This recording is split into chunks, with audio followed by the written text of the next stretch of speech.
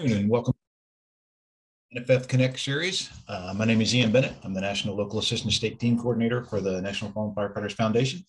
Uh, and tr truly appreciate everyone spending a few uh, minutes with us today to talk about another uh, event a couple of ground rules with this. There will be no other videos. Myself and the presenter will be on, and everyone will be muted uh, because of the number of people on right now. If you have a question or a comment, uh, the chat function at the bottom of your screen there will come to me, and if time permitting, we can get the, the, the questions into the presenter. So, a little background on what we're doing. Uh, when a line of duty death occurs, uh, people experience in a department uh, emotions and experiences based on the position they're in. So the foundation created the uniform support groups, uh, which are fire chiefs, incident commanders, and company officers that have experienced a line of duty death and are available to help and trained and available to help other people uh, that experience this type of event. So very fortunate today, uh, we're debuting our company officer to company officer program. Um, now get Joe, Joe, we're ready. Uh, if you want to start your video, there we go. We're very fortunate today uh, on our first company officer. We have uh, Joe Gaffney. he's a retired lieutenant uh, from the Worcester, Massachusetts Fire Department. Worked there for 32 years, retiring from Rescue Company 1. He was a member and instructor for the Worcester Fire Department Technical Rescue Team and a member of the group who founded the Worcester Firefighter Safety and Survival Seminars to honor fallen firefighters. So, Lieutenant Gaffney, truly appreciate the, you taking the time and sharing your story with us today. So. Thanks, Ian.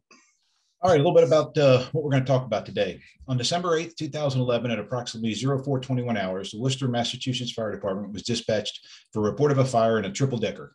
Uh, it's a residential structure, uh, three story residence. EMS crews on the scene report they are pulling a civilian from the structure with more civilians still inside on the second floor. Engine 12 arrives on the scene and reports heavy fire side Bravo and Charlie. While the rescue company was searching for trapped civilians, trapped civilians there's a structural collapse, and members of the rescue company were trapped under the debris on the first fire on the first floor. Unfortunately, firefighter Jon Davies was killed in the line of duty, and that's the incident we're going to talk about today. So again, uh, Lieutenant Gaffney, truly appreciate you spending the time with us today and, and sharing your story. Most important thing, let's tell us about firefighter Davies. Who was he? What do you want people to know about him? Um, Jon was a Jon was a great guy. Um, had, he had been on a rescue for about two and a half years at that point. Um, I, but I had known him previous to that. We were in the same group. Um, he was a single father of three sons. He had um, sole custody. Did a great job raising his boys. Um, he had been the early part of his career, probably the first like maybe 10 years, he was on a very busy engine company downtown, Engine One. and then because of you know, circumstances, he transferred to engine seven, which was outlying slow, but it was close to his home because he was raising the three boys by himself. He did the right thing as a family man. Um, so, you know, on the weekends, the kids would get out to the station and, you know, lift weights and play wiffle ball, hang out with their dad. And uh, as the kids got older, well, actually, at the time of the fire, two of his boys were active duty military, and his youngest was in high school, so he was able to move on. He um, did the rescue. Um,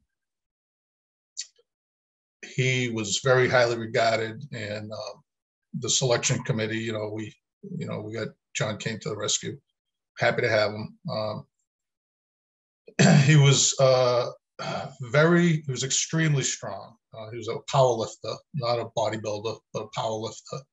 You know, he wasn't very tall, but he was broad and um, real, real strong, real, real you know, fit guy. Um, ate real healthy. Uh, he liked his toys. He had uh, a really nice boat that he would put in on the Cape Cod Canal. Him and Brian Carroll, his uh, partner, were fishing buddies. You know, they'd put the put the boat in the canal, fish off the Cape. Um, he had he loved his Harley. Him and Brian were riding buddies. He had a beautiful truck, and all his stuff was like meticulously maintained. You know, he did everything the right way. Um, the way he did, you know, personal life and the way he like checked the truck when he was a driver. He was on the dive team. Him and Brian um, got all their dive certs together, and um, he was you know tech. He was good, really good tech rescue guy. Uh, a lot of the younger guys in the house looked up to him because uh, he knew a lot of stuff. You know, he was one of those guys who worked construction on the side. He knew how to fix things. He knew a lot about bikes and cars and trucks and you know boats. So uh, just a really really good guy. He's really really missed. Oh, two of his sons are now um, on the job too, which is Jon and, yeah, Jon and um, Mike, his two oldest. Yep, outstanding. Thanks for that overview. Uh, sounds like a great guy. So, tell us about the day of the incident. What happened uh, that day? How did that start? So, um, back then we were um, working uh, two 10 hour days, a day off, two 14 hour nights. And uh, that was our first night tour. And, um, you know, we used to go in at, you know, since I've gone to 24s, but um, we would start our shift at, you know, five o'clock, um, go to seven in the morning. And, you know, you always hear it was a typical, typical shift. I remember it was um, fairly quiet. Uh, we're in a big house. It was two engines, a ladder, heavy rescue. Um, it was it was quiet. Even like the engines that are normally running were pretty quiet. And, um, it was real quiet after like 10 o'clock, and then at like 4:20 in the in the morning, the um, the box came in. But um, before I get into the fire, uh, I got to talk about the station a little bit. Um, the Franklin Street station, which houses engine six, engine 12, ladder one, rescue one, is was built on the site of the Worcester Cold Storage fire, where we lost six guys in uh, 99. Uh, a little bit controversial at first. A lot of people said, "Oh, we shouldn't," but it's it's actually a great place to have a firehouse. Um, you know, we maintain the grounds, have a nice memorial there and stuff. but the point is, we all respond at, you know, reported fire in that engine 12's district or engine 6's district. We all go together. And engine, uh, and one of our other three company houses, South Division, is about the same distance away on the other side of Vernon Hill uh, engine two, engine 13, um, ladder three, and car four. So we all kind of got there at the same time. You know, the, the responses four engines, two ladders, rescue, a RIT company, which is a third alarm ladder, and the chief. So in that neighborhood, ton of resources get in, get there within like two or three minutes. Um, uh, the other thing, um, I got to look at my notes because I have CRS. Oh, the building. I want. I got to talk about the building a little bit before we get into the fire. Um, Worcester's a city of three deckers. Uh, there's a ton of them. And you know, for the people that aren't familiar with three deckers in New England and the big wood frame buildings, um, wide open front porches, wide open back porches, balloon frame, uh, like wide open pipe chases. Um, they're old. Uh, this particular building was built in 1890. Dimensions were 28 by 50. Um, this had some unusual traits to it, uh, which I can probably talk about a little later. Um, but they're basically big, giant wooden frames that you know once they get going, they really they they burn like hell. But we were really good at fighting three decker fires because that was like a bread and butter fire. So um, the night of the fire, well, the morning of the fire, uh, the box came in, and um, the neighborhood Vernon Hill, very hilly neighborhood. Uh, the whole city has a bunch of hills. Uh, the houses are pretty close together. So the you know three stories, apartment on each floor. They all have a very similar layout. Um, so as soon as you know we, are gearing up and getting on the on the trucks and heading up, and fire alarm says, "Yeah, we got report from the medics." And Ian, if you can show where the, the neighborhood um, where a fire building was compared to the where the um, EMS house was. that black, the black uh, roof, that was 49 Arlington Street where the fire was, and that brick building was the old engine 12 ladder fives house. And um, when they built the Franklin Street station, they moved companies around, and that station got taken over by uh, EMS. Um, the fire department in Worcester does not run EMS. It's run by a teaching hospital. So Worcester EMS, they're all paramedics. They're really, really good. They were running out of that old firehouse that night and they smelled smoke. And those guys don't spend a lot of time in their bunks. They run all night. So 4:20 in the morning, they smelled smoke. Um, they checked out, you know, their their building. You know, where's this smoke coming from? And then somebody looked out and saw this three decker going really good, and they called it in. They called 911, and they were like, "Yeah, we got fire, heavy fire in the back, um, second, third floor." So they went down on foot and they went in and there was people in there. So, you know, we're, we're getting this information as we're rolling. We're like, okay, we got work. So we show up, engine 12 gets there first, and they're reporting heavy, heavy fire on the uh, Charlie side. And we come walk, we all, you know, we're a rescue company, heavy rescue. We don't, you know, carry hose or ladders, so we try to stay out of the way we parked down on the corner of Dorchester, Street and we're walking up and it's like, yeah, we got, we got, you know, heavy fire. And typically what we try to do on the rescue is um, you know, on a three decker fire, if say the fire is on the second floor, one team will go up the first and it's all dependent on conditions, but like ideally, it's like, okay, fire on the second floor, team one will go up the first floor, to a primary on the second floor. Team two will go up the back.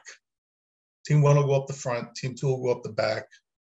And they'll search above the fire, and then we'll kind of switch.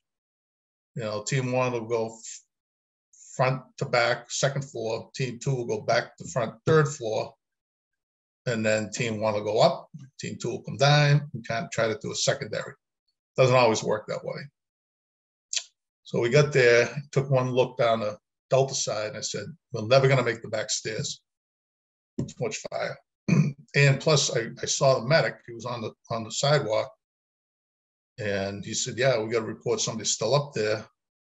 And uh, I knew the guy, you know, and said, "All right, we're all going to go to the second floor."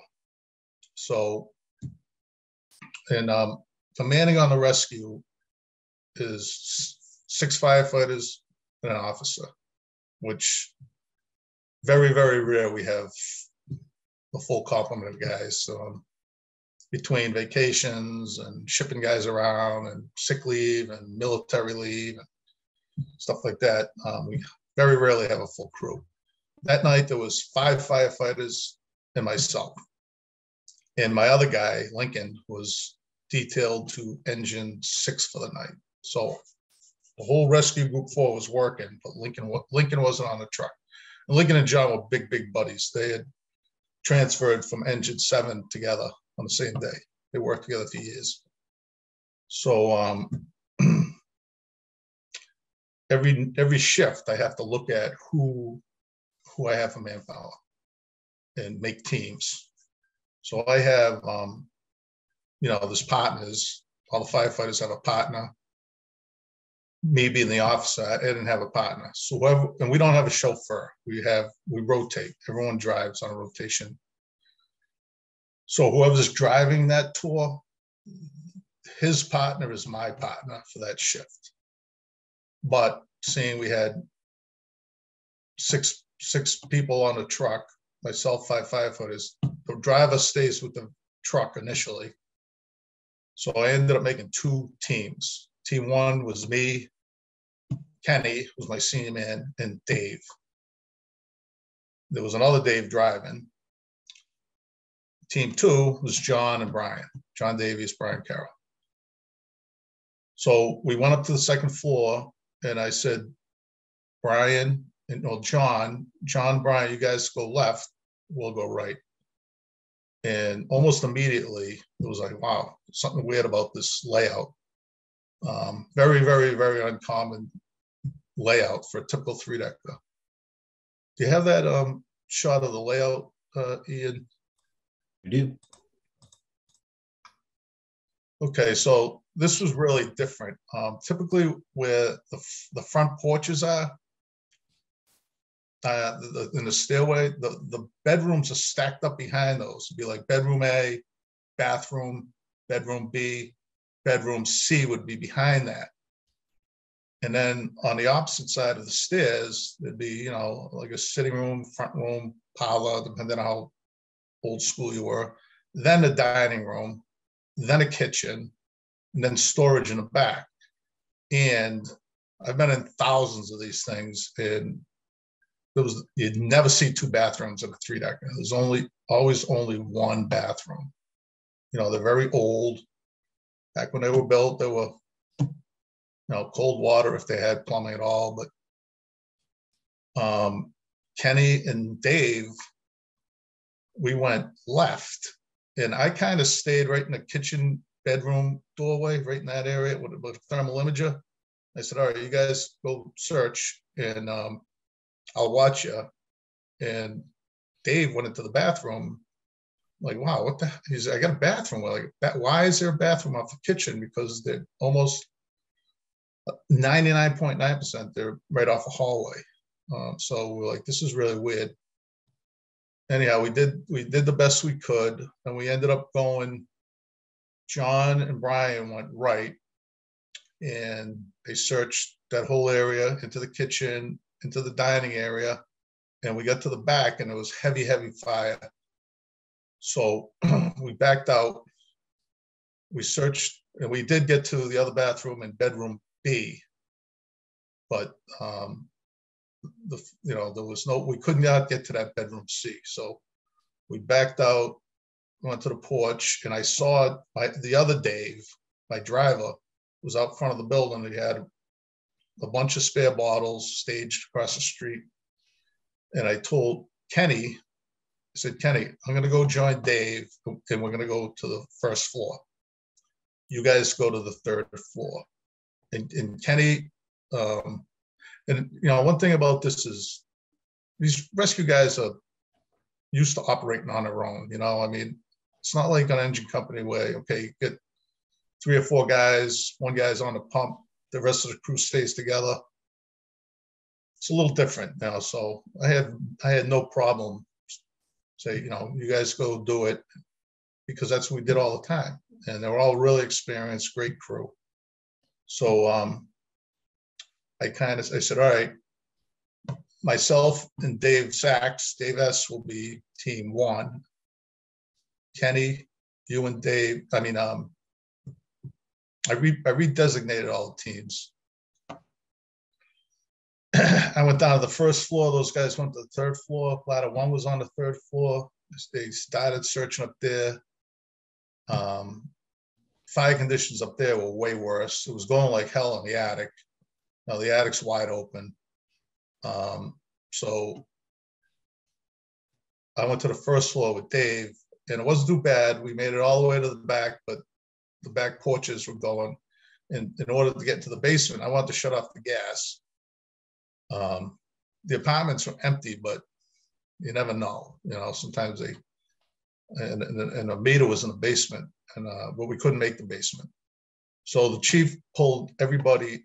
At that point, there was conditions were getting worse. Pulled everybody out of the second and third floor. So we all met on the first floor, and we we were like, I was kind of reassigning everybody again because our crews got all mixed up. So um, Lincoln, who was on engine six, was Kenny's partner. So I said, "All right, Kenny, you're with me. We're team one. Dave and Dave, I mean, um, Jon and, and Brian, team two. Dave and Dave, you're team three. And it all goes by seniority and stuff. So at that point, um, the chief pulled everyone out of the building. So, all right, started setting up big lines. We went across the street, changed our bottles out, kind of just staging there. You know, a lot of pipes are getting set up. Um, the, the fire's really going on the third floor in the attic. in the back and the first and second floor. You know, two and a halfs, deck guns, ladder pipes. And we're standing there, and the, you know, the chiefs, I said, he said, you guys just stage here. So there we are, six of us, just kind of standing by. We all got new bottles, and there's this guy, you know, pacing up and down the street, this kind of sketchy looking guy, and he was saying, "My buddy's still up there. My buddy's still up there." So we were over on the corner of like the like the A B side, and I said, "You know, where was he?" And he goes, "That last window on the second floor, but on the other side." I said, "All right." So we walked over to the A Alpha Delta side. I said, "Show me." Yeah, right there, the window in that bedroom C. That's where he was pointing. I'm like, oh man, I said, that's the only room we didn't make. So I'm thinking, all right, the guy's up there, he's in really bad shape, but you know. So I went over to the uh, command post and the, the, chief and the safety chief were there. And I said, hey, this guy said is, and I, oh, one thing I did that I grabbed Kenny, who's, I said, Kenny, interview this guy. I want to make sure he's giving you the same information he just gave me. So Kenny was talking to him. I'm talking to the chief. She's like, what do you think? I'm like, well, we were, we're up there once already. There's no furniture. I know the layout. We should be able to get in and out. We'll just go right to that one bedroom because we, we searched the rest of the place. And he said, all right, you're going to need an engine company to back you up. I said, well, chief, I said, there's six of us. His line's already up there. Um, I think we can we can handle it. No, no, no, you need an engine company. And the chief was working swap. He wasn't our regular South End chief. But I had known the guy for years. We worked out of the same house. He was a great guy, real good chief. Um, so he called engine two you know, on the radio. What's your location? They were like, oh, we're, we're, um, we're grabbing a hydrant with feeding line of one. I had engine 12. What's the location? We're helping engine, engine two. He's like, I don't need two engine companies, you know, taking a hydrant. So engine 12's two's like, okay, we'll we'll take it. We'll back up the rescue. While all this is going on, all my guys are standing at the bottom of the stairs, except for me and Kenny. Me and Kenny were at the command post. And you know, like firefighters, everything's by seniority. Jon was out of those, Kenny was senior, but he was with me. Jon, then Brian, Jon and Brian were like at the bottom of the stairs. They're on the sidewalk. And then two Daves, you know, waiting to go. They're waiting to go. They're like chomping at the bit. And um, finally got the okay, but we had to wait for the engine which I was like, you know, chief. But you know, he's a chief. I'm a I'm a lieutenant. So it came up. I said, yeah. And then engine two came up. All right, I can't remember if it was engine two or engine 12. One of the engine companies came up. I'm like, all right, let's go. So single file. We go up the stairs. There's a set of stairs on the exterior, very hilly neighborhood. So you go up like four or five stairs, little walkway, three or four stairs to a porch, and then you head in. So it was Jon, Brian, Dave, Dave, me, and Kenny. And then um, right when me and Kenny were heading in, some fascia dropped from the third floor. It was still burning in the attic pretty good. So we stopped. Everybody else had a little bit of a head start on us. So we got up to that sitting room area and we all, and the conditions weren't bad at all. Like we were, it was low heat, low smoke, but in the back, it was, you know, a little bit, you know, more heat, more smoke, but we kind of like duck walked through the sitting area, through the kitchen. And we were right at that area there by that stove. And, and I remember Jon saying, we'll go right. And Dave, the senior Dave, said, All right, we'll go left. I said, Kenny, we'll stay here and just kind of monitor them because it's, you know, not a very big area and they're just going to check that one little bedroom. And Brian said to Jon, right when they were entering the room, he said, Jon, I got the imager. I'm going to go first. And I never micromanage my guys. There's a million ways to search. Some guys, you know, use the imager in, in the rear. Some guys take it in the front these guys were all really good. I let them work it out. Um, so they said, all right. So it was Brian and Jon going down that right-hand wall on the exterior, the D side, and Dave and Dave going along the left. Well, Kenny and I were in the doorway and there was a catastrophic collapse, like no warning, no nothing, no creaking, no, all of a sudden, boom. We were all like, what the hell was that? All of a sudden, the visibility went to zero. We all went to our knees. Um, and you couldn't see it. You couldn't see a thing. Engine 12 guys and engine two guys were behind us, and there was a lot of confusion. There was a couple maydays. I didn't give a mayday. I was just trying to find my my guys. I had Kenny. We looked into the things cleared out a little bit, and and there was a lean-to collapse right in front of us, and all we could see was the bottom of the third floor floor joist. We're doing a lean-to, and I could see a couple guys in that.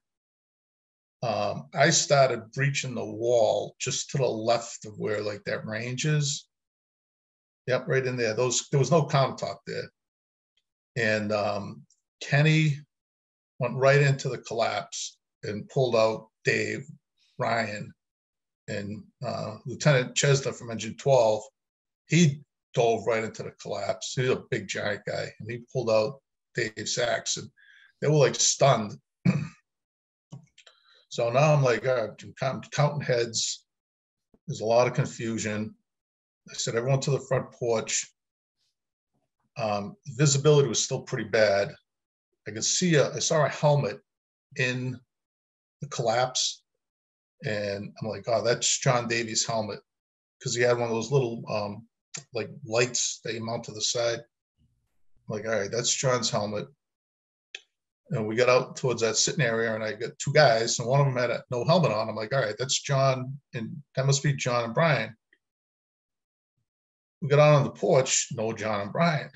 And everyone, the guy's like, everyone's out, everyone's out. I'm like, they're not out until I, I have my hands on them. So um, there was a, a kid, a young kid on engine 12.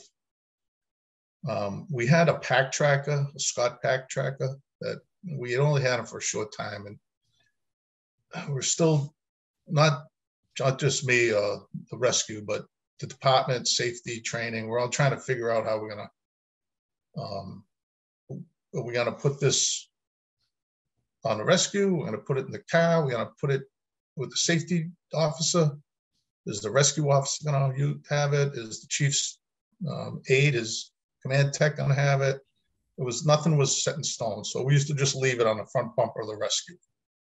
So, because you know, if we left it in a compartment and somebody was looking for it that wasn't familiar with the truck, they'd never find it. So, I sent this this this young kid out. I said, "Go get the pack tracker off of um, the the rescue and bring it up here." And in the meantime, the whole like D side of the building was blown out right back towards that bedroom C.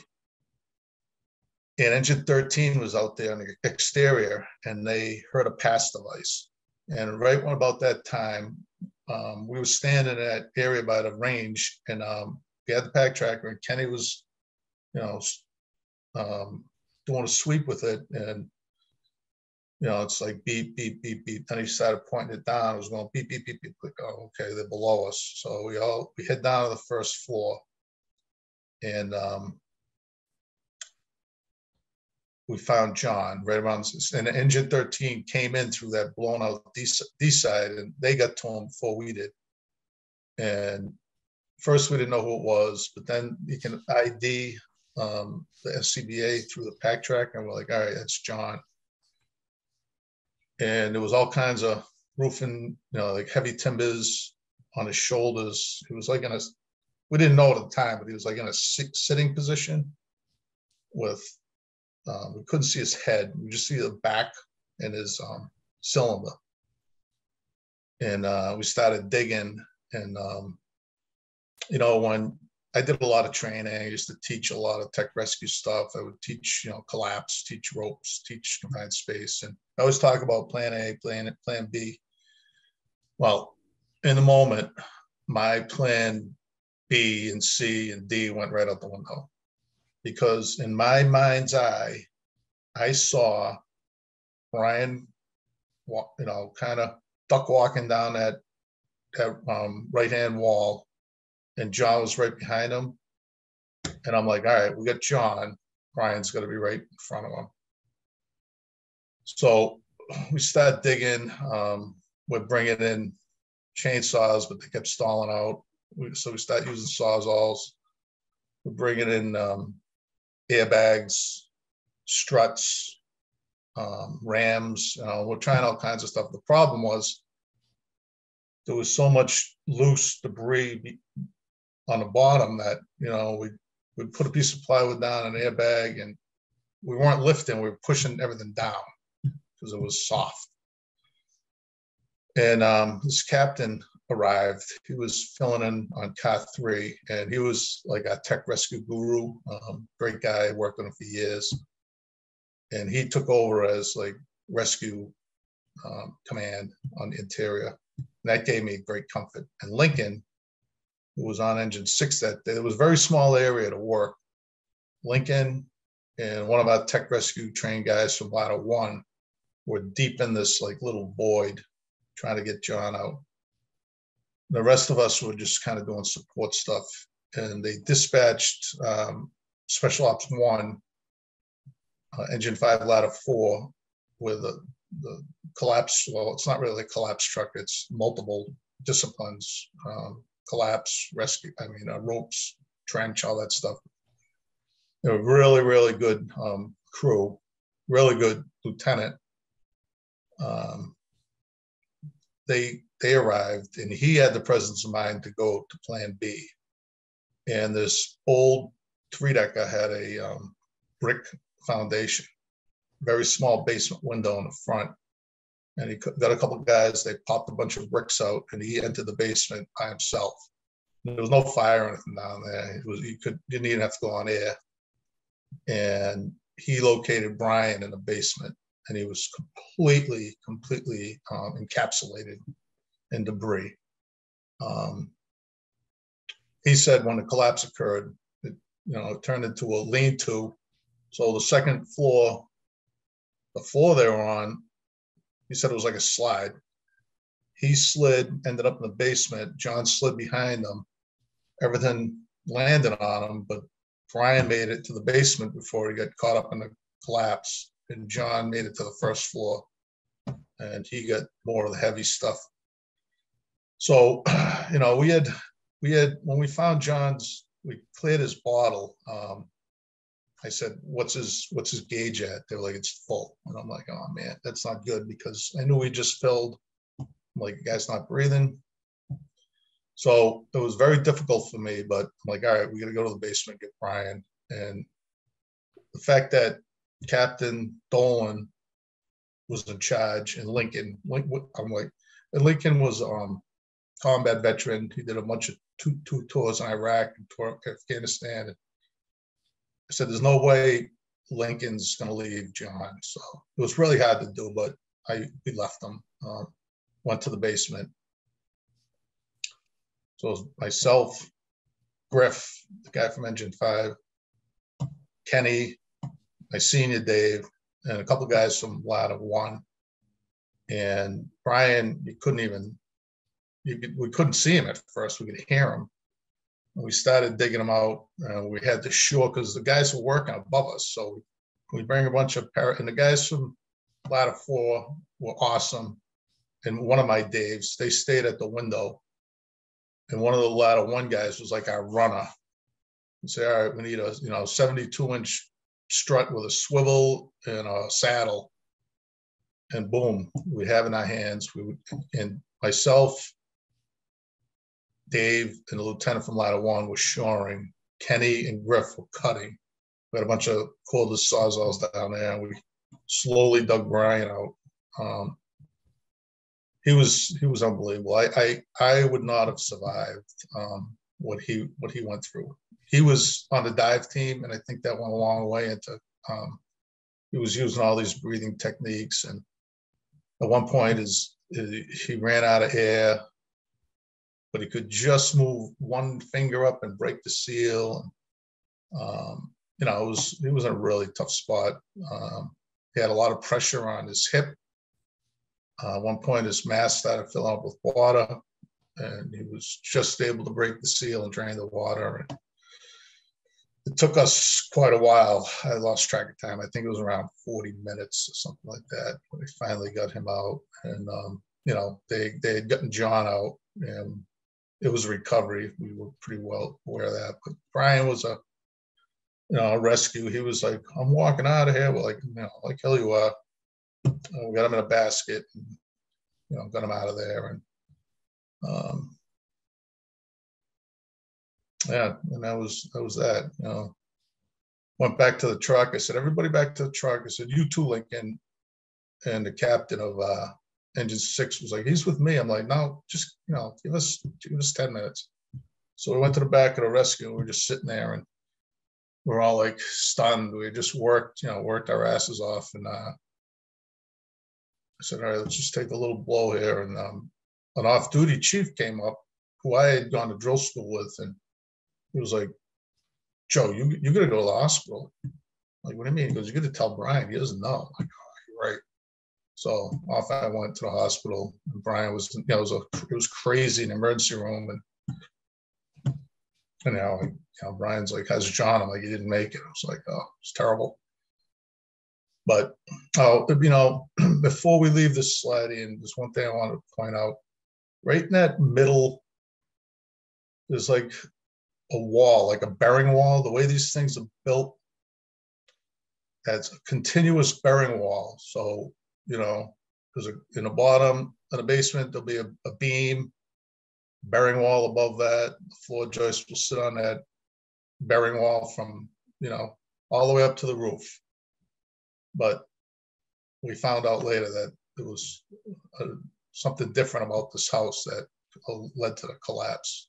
I just want to point out, you know, on this is the layout, but if, uh, when we get to the basement, I'll, we can kind of point out what uh, was one of the factors in the collapse. All right, front of the structure. Yeah, um, typical three decker, um, but that, that stairway on the right, on the, on the, from the sidewalk. Um, very hilly neighborhood, you know, you can see the grade. Um, so, yeah, I mean, you know, a lot of people like, why'd you go back in that building? Um, the way these things burn, um, I've been I don't know how many hundreds of three decker fires we go to. We the fire would be you know knocked down. Um, it'd be going up in the attic. The roof would collapse. It would burn. But you know once we had the, the big stuff knocked down, we'd go back in and pull ceilings, and you know they didn't they didn't fall down like that. We would we would joke around, said you know how to go. Oh, we burned the roof off of that one. Oh, we burned the three, third floor off of that one but the rest of the building's still there. And there's a bunch of them in the city that, you know, the owner decided, all right, they're gonna rebuild, but they're just gonna put a roof on, and now it's a two family. It's not a it's not a three family. It's it's two stories. You know, they there's tons of them like that, and so we were, you know, it was like no big deal going back in there. Um, you know, the heavy fire was knocked down, but uh, this one was a little different. this is the layout and where everything was you were talking about. Yeah, this was kind of where we were when um, the collapse occurred. You know, the victim and the injured firefighter, Jon, Brian was in the front, but he they were both on the wall. You know, they're doing really basic uh, rescue. They were just gonna um, go right to that back bedroom and get in and out. And um, Dave and Dave those were the guys in the corner. They they were on like a little ledge. Um, there's another video. I'm um, another photo later. Like they were really they were really close to getting you know going down too. Um, and Kenny and I were um, right at the doorway, and then engine 12 was behind us, and engine two was no, they were just kind of hanging out, you know, no big deal. They, they had a lot of line up there and just kind of looking around and making sure there was no fire behind us or anything. But all, there was still fire above us, but nothing really right there. Yeah, so that's, that's the back of the building after they, you know, de- delay, de- delayered it. Um, that second floor, that, that doorway there on the second floor, that's where Kenny and I were. That is the breach where I started going through the wall. In the very corner, that's where Dave and Dave were. And we got to those, you know, and we get to them a little pretty quick. And it was only like an 18 inch like shelf before where that second floor collapsed down. And Kenny, I mean, um, Jon and Brian were on that floor, and that's where they slid into the basement. Um, of course, you know, we couldn't see that because it was the third floor was doing the same thing, like right in front of us. That, yeah, the third floor um, collapsed down as into a lean-to right in front of us. So we couldn't really see any of that from the interior. Yeah, so that's, that's where um, Jon and Brian ended up. Jon was right there, covered with, he was basically covered with the third floor and the roof. And Brian was down below in the basement, covered with like the first floor and all tons of debris. There was pipes, there was wiring. There was, I think there was a bed frame. I'm not really sure where it came from. It might have been on the second floor, uh, but it might have been in that room we never got to. But um, it was a lot of small stuff. But one thing to point out is um, it's hard to see, but that carrying beam I talked about in the basement, that usually goes from A, A side to Charlie side was split. If you can kind of line up the, the columns, there was that section and then it jogged over. And it was um, like the, the front two thirds were like um, 14 on center, like the joist, but then it jogged over. Um, so that's exactly where the um, the collapse occurred. So I, don't- I don't know if they did some kind of weird renovations, was way different than what we usually see in these buildings. and the other thing was the um, foundation. Um, there's a lot of these buildings have fieldstone foundations to grade, you know, just big, just rocks and uh, mortared in there. And then above grade, it's brick, because it looks nicer from the exterior. But they weren't maintained, so all the um, water was all old and crumbly, and they needed to be repointed, and they never, never did. And it had been wet um, for, you know, central Massachusetts in, in December, we had had quite a bit of rain, so there was, the ground was kind of saturated. It's usually frozen solid, and it was windy. Oh, the other thing um, was different about this building is a lot of these three deckers, the base, the um, foundation ends at the like the the delta wall, and then the porches. Could you go back to that floor plan? Uh, Which, which one? the- just the regular floor plan? The one, yep, okay, so this foundation extended all the way to the very, very back where it says side C. And on most of these three deckers, the foundation would only go to where that wall where it says bedroom B and bedroom C. And the back porches would be attached, almost like a deck.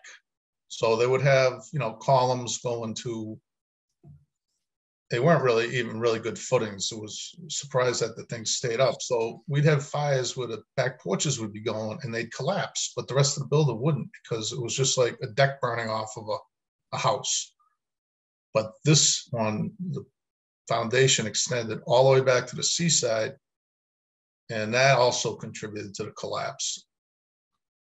And the collapse occurred right like that thing that's where the range is, and is that's, that- that's a power. Um, and that's where the collapse occurred, right there.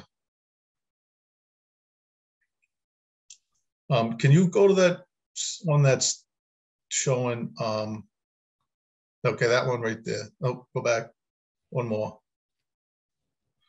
Okay, um, right in that corner where I said Dave and Dave were, there was, it's, it's really hard to see in there, but right next to the breach, there's a, there's a vent pipe right there. That's a vent pipe. And that was going to a parlor heater. So Dave and Dave, when they were doing their left-hand search, they went around that parlor heater and then back on the wall. If it, if it happened like literally seconds earlier, they would have slid down too. You know, I mean, that's how, that's how things go. Um, you know, and, when I, I spent a little time like what ifing, not, not a lot, just a little bit. And I said, you know, what if the chief let us in, just let us, just let us go? You know, we didn't need, we didn't need an engine company backing us up. We would have been in and out. But then I'm like, you know what, you can't do that because we could have had more guys deeper in the building and more guys would have got caught in the collapse. So, you know, you can't, what if, what if, what if, so. Trying to think there's anything else about the fire. Um, I don't think so. Kind of covered most of it. Oh, yeah, that's, that's what the conditions look like when we were actually um, in there. Um, You know, we were, this was afterwards, but that's basically what it looked like. We were under all that crap, trying to find those guys. Um, Brian was, you know, way down, way down below that. He was like down in the basement. Jon was right about where the, um, where your cursor is, but Brian was down underneath that. So it was, it was pretty tough conditions, you know. It was still pouring, you know, it was still pouring a ton of water on the thing. And it was, we had to deal with that too, so. Still active fire during the race, uh, up in the attic and that, that, I'm sorry. still active fire up in the attic while you're all doing the rescue and recovery.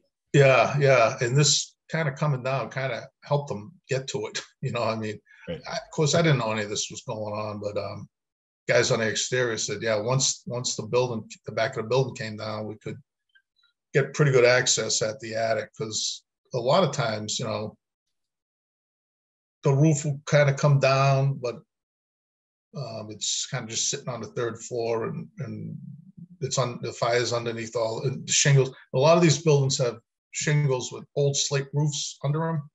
They used to shingle right over the slate roof, so, you know, take the fire a long, time to get through the roof and, um, you know, you just be there forever trying to put it out. That's another reason why we'd send guys back inside and they'd pull ceilings and get it from the interior. Because a lot of them didn't have floors on the third floor. Um, I mean, the attic, it would just be open floor joists. So you could just pull the ceiling and be right, you know, get a line right up into the attic. Right.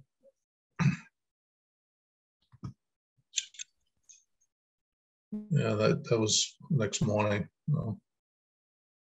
And, you know, I, I was, I remember talking to the safety captain, or the safety chief, who was a really good friend of mine. And I had tons of experience, you know, he ended up retiring like with like 38 years on the job and he did everything, you know, company officer, training, rescue captain for a while, district chief.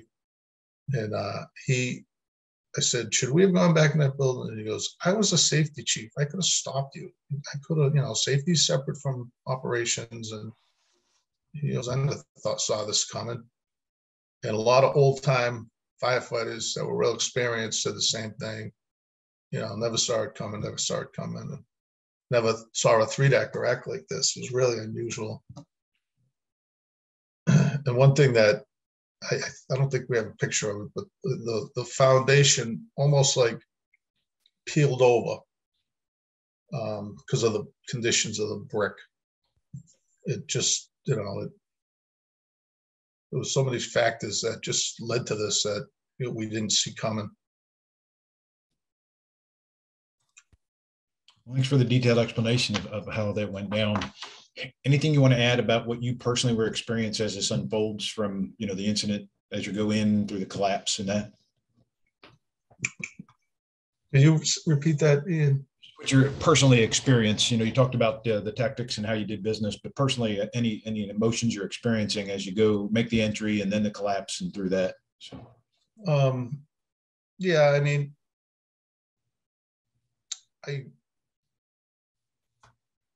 I don't know. I mean, I, everything was, you know, I hate to say routine. It was, yeah, we had we had a really good working fire. Um, um, but just been to a million of them like that. You know, like I said, we're really good at three decker fires. Um, you know, we, I got a, when, when Jon and Brian were missing, I, I almost had a little bit of disbelief. Um, you know, and as I know we, we had that video, but they took it down, but um, there was one, you know, they say, don't ever say somebody's name on the air. But I did, you know, I was just like rescue to team two, Davies location. I remember saying that. But I was just like, I wanted, you know, and plus the other one of the reasons I did that is because we had changed like three times, changed the teams, you know, just because of the way things played out. But um, you know, when we when we when he went missing, when Jon went missing and Brian went missing, and then when we I had to leave Jon, uh, that was really hard, um, very difficult. But like I said, the captain and Lincoln, the fact that you know, I'm like they're gonna get him out. You know, there's absolutely no way they they're gonna you know fail. So, but you know, firefighters are funny. You know, we're even like going into the basement. Um, Kenny went in before me, and I'm trying to get down in there, and there was a bat, a, a bat of um, insulation, and I I thought it was a wall. I went and I was leaning on it, and I ended up falling into the basement and landed on top of Kenny. And, you know, we this was like my worst um, you know, like I said, I worked a cold storage fire and, you know, we lost six guys, but they weren't my guys, you know. Um, and I landed on Kenny and we were like joking about it, you know. I mean, that's kind of how you deal with stuff in the in the moment, you know. Right. But uh I was so busy. I just didn't have a lot of other and Brian was unbelievable. He was like cracking jokes and you know, this guy's like it almost on the verge of death and he's like making us laugh, you know. Right. But, one of the questions came up. You mentioned that uh, you know one of the the reasons you went to bedroom C was there was uh, uh, someone that told you that there was somebody in there. Did you ever find was there a civilian casualty? Was there anything to that? no, no. He, I guess he was up there with this guy, but he got out on his own and took off. And there was squatters. place was vacant.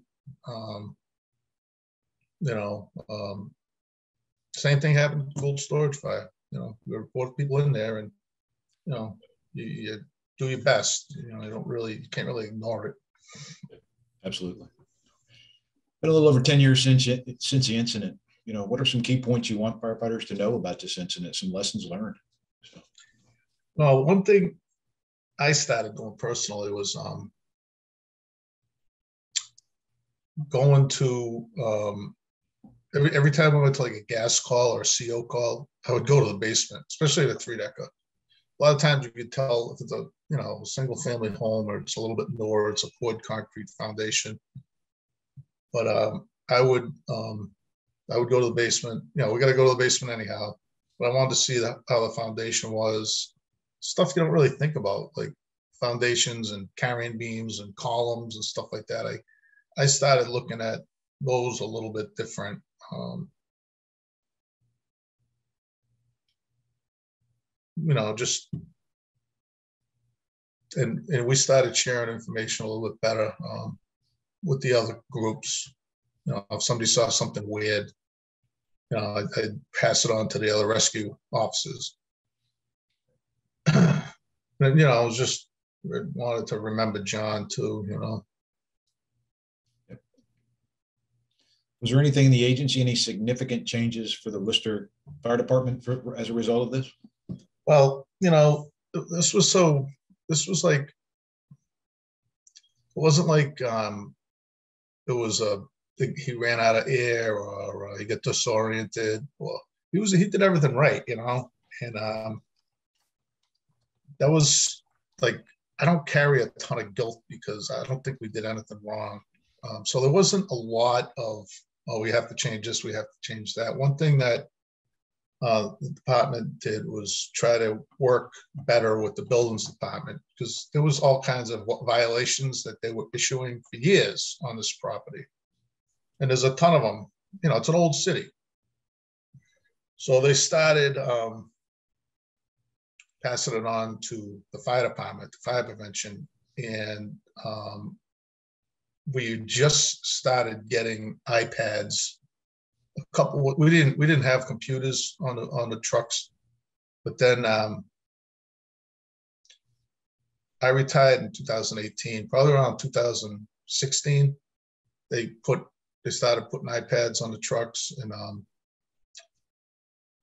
it was they would go on to rescue a couple engine companies the cars but you know i'm kind of old school if i don't have my glasses i can't even read the thing so but they started putting a lot of information on these properties. And I guess now, like they're on every company, and the software is like way better. So stuff will come up. You know, I mean, you know,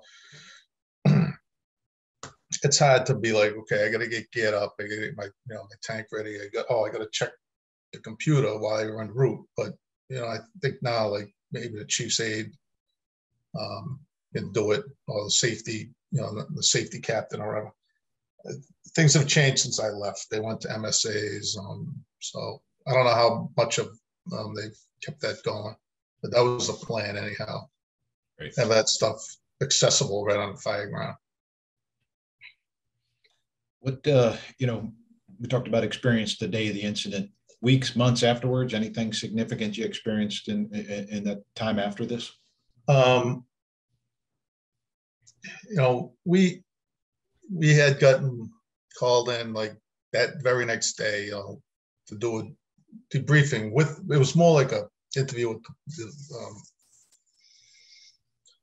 the police and arson investigation because there's a suspected arson. Um, so okay, we got to do that. But then you know they start doing CISM, which is important. But I think in my experience, um, I've had to do it a couple times.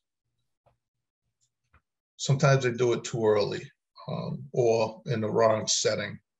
Like, um, we, like the next night, I was supposed to go to work. The another group volunteered to cover our shift. So I didn't go to work. I had three days off, and then you know we had time off for the funeral and stuff like that. So it wasn't like it was like over a week before the whole crew, the whole house, went back to work. And we're like, all right, let's have a sit down. And at the time, um, well, we were just going to have our own little group, and and um, these guys showed up from some they weren't Worcester guys. They weren't even, they were, I don't know. They meant well, but they just timed it wrong. You know, we were like, we're not ready to do this. And they were, the captain you know, kind of threw him out. He was like, we haven't even talked amongst ourselves yet. When the time's right, it's absolutely essential, but it's going to be the right time. And then I, I, um, I waited too long after that to get help. Um, I waited way too long.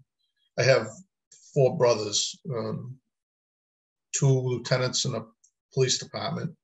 My other brother's a lieutenant in the fire department. And we kid around said, yeah, my, my oldest, he's the smart one. He's a plumber. But um, I talked to them a lot. You know, it took me years to realize what do they know? you know, they're not trained. You know, um, and my my brother, who's a firefighter, was way more. He got it my brothers out of cops really kind of didn't, you know. But anyhow, I took it took me a long time to finally get some professional help. Right. I, I recommend doing that sooner rather than later. You just right into to the next question. What advice you give to officers and firefighters? Obviously, one is get help sooner. Anything else? Absolutely. Use, use the resources, you know. Um, The guys, a different CISM group did come in afterwards and it was great. You know, that was great. But it was like, but it wasn't a week later. It was like maybe a month later. And that was awesome. We had a great session. Um, you know, EAP if you need it. Um, peer, the, you know, the, the, the, the peer company officer, I- is fantastic fantastic. I'm so glad I got involved in that. Um, There's a place in Massachusetts that's unbelievable. It's called Onsite Academy and um, it's out in the middle of the woods in north central Massachusetts and it's police, fire, military, EMS, like people that have post-traumatic stress and it's free. You go out there, you can go for a day, you can go for three days, you can go for a week and they help a ton of people. And I can't believe how many guys have started using it. That that stigma is gone. Of uh, just get back on the truck. You know what I mean? It's people people realize and you know mental health is a real thing. So I uh, took me way too long to do it. Uh, so talk to people. It helps. This this helps me tremendously. Believe it or not. Um, couple reasons. It helps me get stuff off my chest. It helps me remember Jon. And, you know, Brian, like Brian, Brian's my hero. You know. So just thank you for this opportunity. But yeah, I, that's my be- my biggest advice is talk to people, get help. Even if, even if you think you don't need it, just talk. All right, we got a, a video to show. We'll uh, share the screen here. Here, we just got a little tribute to, to firefighter Davies. Yeah, that's the memorial T-shirt we came up with. Yep. Raised, raised a ton of money. They made the funeral. So, That's Brian Carroll, carrying Jon's. Well, actually, it's not Jon's helmet. His was taken over by the, the DA's office for evidence. And then we have uh, about a year later, uh, Brian Carroll, uh, obviously the firefighter that was trapped with with uh, firefighter Davies, uh, did a, a video, and we got that to show you real quick here.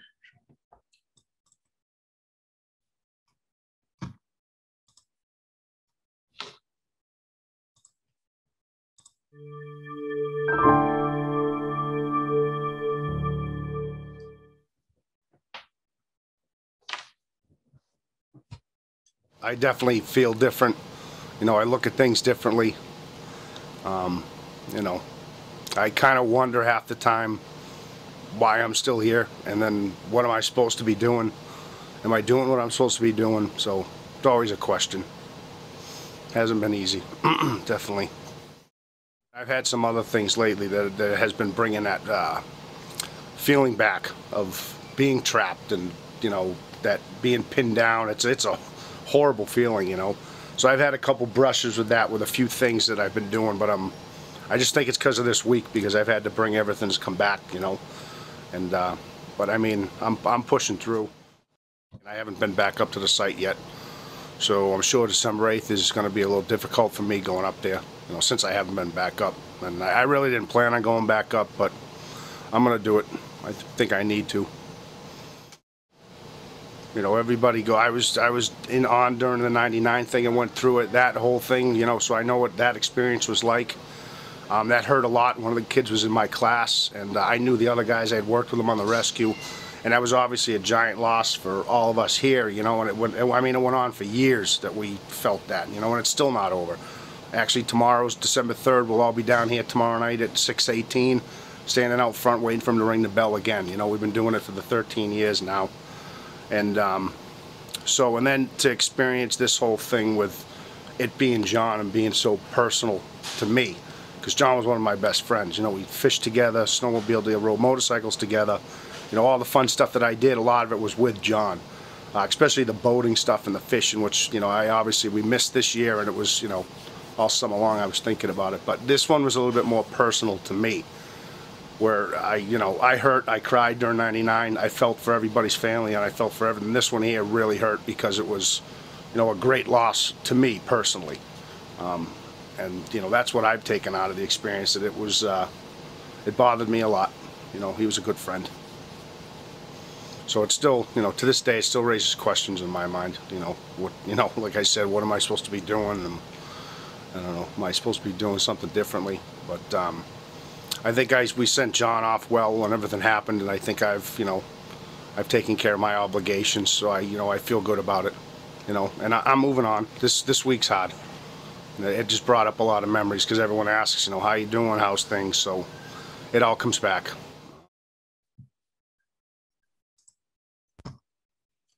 That's pretty amazing video. Pretty strong guy there. So. Yeah, um, let me can I just talk about Brian for a minute? He, he's unbelievable. Um, he did come. He came back to work. He had some physical problems, um, almost like the crush syndrome. Um, you know, if you have a trench thing, but he had some problems with his kidneys. And I've cleared. I, I talk to Brian all the time. He's my golf partner in a, in a fire department league, and um, he's fine with me talking about him. You know, I'm not talking out of school or anything, but um, he came back and he was doing a job. Um, I know he was struggling, you know, and we did, he was on the dive team and we did have a um, scuba alert. And um, he was the guy that found the, you know, it was recovery. Um, I mean, we got there. Um, it was during the day, uh, busy beach in the city, and we got there, you know, pretty quick. We, we found the guy pretty quick, but you know, it was it was in September, so it wasn't like a cold water one, and so it was recovery, and he did it, and uh, but he was he was really struggling, and uh, he had to retire. You know, and he tried, and he did the job for a while, and um, it was just he just couldn't do it. But he's doing great now. I mean, like I said, he's he's doing awesome. He um, I golf with him a ton, and um, you know, he was another victim, but he's like I said, he's he's doing really really well. I, I, I'm very proud of him. You still on the job? No, he had to retire. You did have to retire. Yeah. Yeah, he had to retire. Um, yeah. Good. Uh, let me just make some comments that have come through the comments. Um, and, and, I think you've hit on a couple of these things. You know, this can happen to anybody at any time. Um, got some comments. You know, you're an outstanding fire officer, and this is from some people that worked with you, for you, through you, uh, you know, that you work for. Um, this can happen to anybody. Uh, Vinny Dunn took a look at this incident from a building, because obviously, when the father building construction and, and, and take a look at that, and doesn't understand why the building collapsed as far as normal procedures out of it. Obviously, when you look at it, the beams and the way they were, were done, but there was no reason not to go inside this building. So you can do everything right, and things still happen sometimes. And that's an important lesson we get out of a lot of these. These things can go right and still uh, come up, uh, you know, tragic consequences in the long run out of it. So, um, can't thank you enough uh, Lieutenant Gaffney, for for joining us today. Hugely helpful. Got a you know comments on you know the courage you got to, to go through this to so other people can learn from these incidents and what to go through and that kind of stuff. One thing I failed to mention uh, when I was talking about Joe and his contribution to the, to the foundation, uh, back in July, we met in San Antonio to develop this company officer to company officer program that hadn't existed before. Um, and John Sullivan's on with us today. He was kind of the spearheaded this of the need for this program. Uh, thank you, Chief, for, for your efforts in that. Look forward to working with you in the future on that one.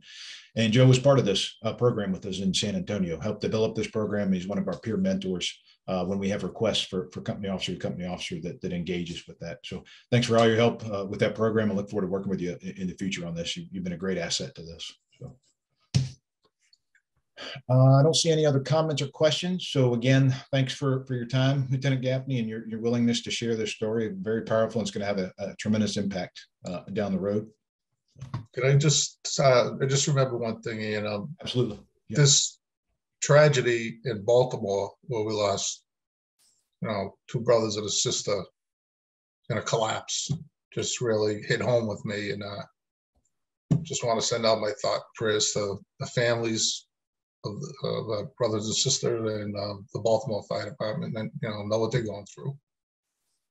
Very timely. And we, we definitely echo that. Thank you very much. So thanks for joining us today. Um, please next Thursday or the third, the fourth Thursday in February, the 24th at 1 p.m. Eastern. Uh, Chief Lloyd Crago from the Young, uh, Youngwood, Pennsylvania Fire Department is going to join me, and we're going to be talking uh, firefighter Edwin Lance um, I'm sorry, Edwin Lance Wetzel. Lance was his, uh, uh, what he went by, was killed by a train during a search and rescue mission. And Chief Gray is going to talk about uh, the same type of thing, the impact on the department, what happened, and the impact on him personally. So hope you can join us then. Lieutenant Gaffney, thanks again. Truly appreciate it, and I hope Thank everybody you. has a great day. Take Yeah, care. Thank you for the opportunity. Appreciate it. Thank you, sir. Have a good day. So. You too.